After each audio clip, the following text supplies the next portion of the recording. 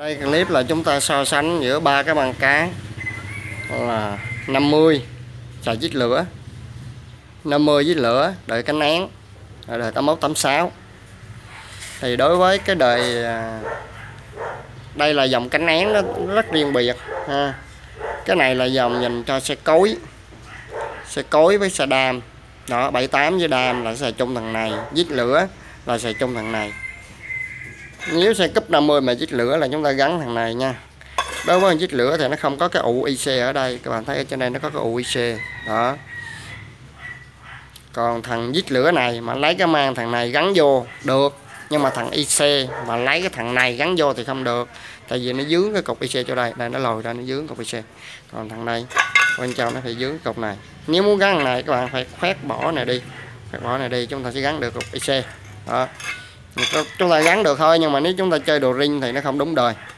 Đó thì đây là thằng cấp 50 xài giết lửa.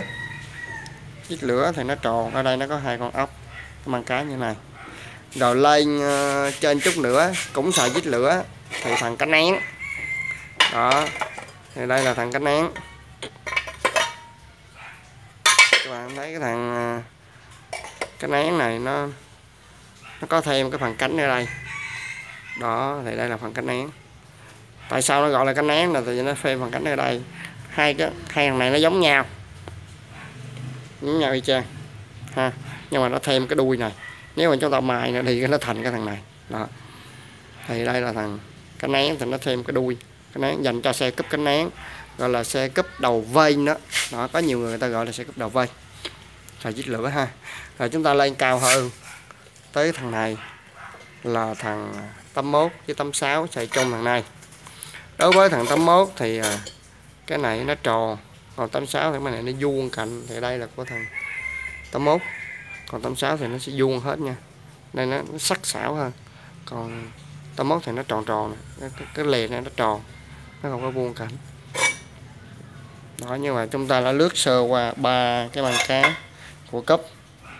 Đó là 81 86 cánh nén và cấp. 50 xài chích lửa. Đó thằng này. Đó, đây là ba cái chúng ta coi thử. Đây là mặt này trong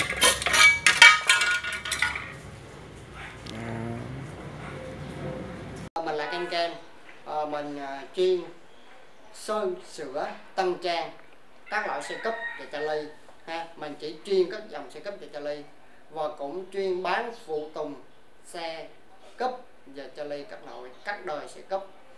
À, nếu các bạn có nhu cầu mua phụ tùng xe cấp có thể liên hệ với mình. Có nhu cầu sửa lại chiếc xe cấp của mình hoặc là dọn lại theo một cái phong cách mới cũng có thể liên hệ với mình. Rồi tất cả mọi nhu cầu liên quan tới xe cấp thì cho ly các bạn có thể liên hệ với mình qua số điện thoại 0982 116 306 hoặc có thể qua địa chỉ 5 6 đường số 10 khu phố 2 Diệp Bình Chánh Thủ Đức. Và đầu đường của cái con hẻm đường số 10 nó là 208 quốc lộ 13 Bình Triệu. Nó ngay sau lưng siêu thị có mắt Bình Triệu. Hoặc các bạn có thể lên Google search siêu thị có mắt Bình Triệu và bạn qua đó alo cho mình. Mình dẫn bạn vô. À, và lưu ý là trước khi các bạn qua các bạn à, nên gọi trước cho mình. Tại vì mình hay đi ra ngoài giao đồ giao xe rồi đi lấy xe cái hạn rất nhiều thứ. À, thì bạn nào trước khi qua gặp mình trao đổi à, sửa xe hay là tăng trang xe hay mua xe hay mua phụ tùng thì các bạn nên gọi trước cho mình nha. 0982 116 306 xin cảm ơn tất cả các bạn.